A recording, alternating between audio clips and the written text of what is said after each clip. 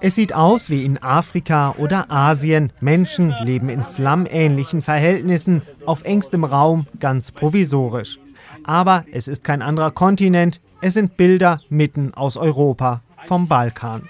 In diesen Hütten leben fast ausschließlich Roma, eine Volksgruppe, die häufig als Zigeunervolk beschimpft und schon immer ausgegrenzt und diskriminiert wurde. Dabei sind es die Roma-Frauen, die besonders leiden und Unterstützung brauchen. Ich wollte den Roma-Frauen helfen, damit sie genauso menschlich behandelt und ihnen die gleichen Rechte zugestanden werden wie jedem anderen in der Gesellschaft. Sie werden ständig diskriminiert. Zum Beispiel, wenn sie zum Arzt gehen, dann kommen sie immer als Letzte dran. Also unterstützen wir sie.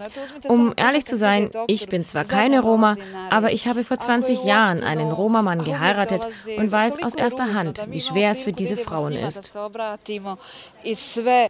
So wie dieses Frauenzentrum gibt es auf dem Balkan viele Projekte, die den Roma helfen. Unterstützt werden sie dabei auch von der Hilfsorganisation CARE.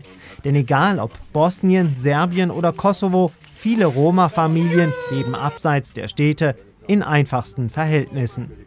Es gibt auf dem Balkan extrem viele Roma. Viele von denen haben sich während der Kriege ähm, nach äh, Mitteleuropa geflüchtet und müssen jetzt wieder zurück, sind häufig äh, nicht integriert äh, in die dortigen Gesellschaften und leiden eben nach wie vor erheblich unter einer Ausgrenzung und einer Diskriminierung. In dieser Siedlung in Nordserbien wurden zum Beispiel zusammen mit den Bewohnern Wasserleitungen verlegt. Jedes Haus hat nun einen eigenen Anschluss und die Bewohner müssen nicht mehr zum Brunnen laufen, um dort Wasser zu holen. Ein weiterer Schwerpunkt der Arbeit von CARE auf dem Balkan ist der Kampf gegen den Menschenhandel, denn die Verschleppung von Frauen und Mädchen ist häufig traurige Realität. Weite Teile der Gesellschaft werden ähm, auch kontrolliert von äh, organisierter Kriminalität und äh, da hat sich eben eine Struktur herausgebildet, die die äh, Länder des Balkan sowohl als Transitländer äh, von jungen Mädchen, die äh, für die Zwangsprostitution bestimmt sind, äh, verwenden, als auch äh, als äh, Ursprungs- und auch Zielländer. Zur Hilfe vor Ort gehört zum Beispiel die enge Zusammenarbeit mit der örtlichen Polizei, aber auch Aufklärungskampagnen oder die Einrichtung von Notruftelefonen. Nicht ganz ungefährlich, denn häufig sind Politiker oder Polizeikräfte mit in die Prostitution verwickelt.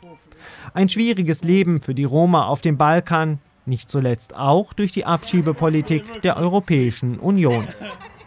Wir haben nach wie vor kein Konzept äh, für Menschen, die ihr Lebensziel auch in einer gewissen äh, unflexiblen äh, Situation befinden. Das sind einfach Roma. Man kann sie nicht einfach ansiedeln. Das wollen die auch nicht, sondern es muss die Möglichkeit geben, dass sie freizügig sind und dass wir dort ein Konzept haben. Aber das fehlt in der Europäischen Union insgesamt.